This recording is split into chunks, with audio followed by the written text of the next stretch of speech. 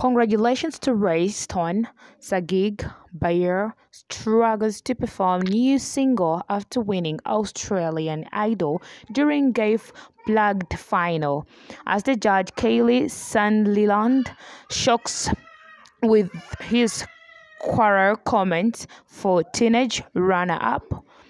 Yes, hello everyone and welcome back to my YouTube channel. So, Rayston Sagig Bayer has won the 2023 season of Australia Idol after the public votes were held during Sunday night grand finals.